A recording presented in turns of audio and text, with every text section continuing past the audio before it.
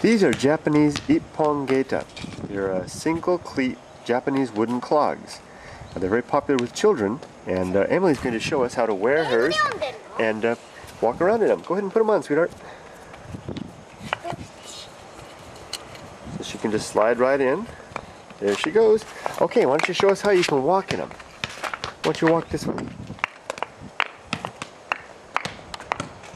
Great.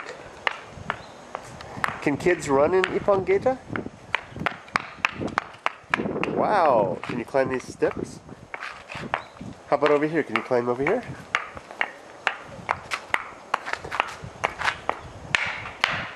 No problem. All right, come on back down. Thanks for showing us how to use them. Emily, are they are they comfortable? No?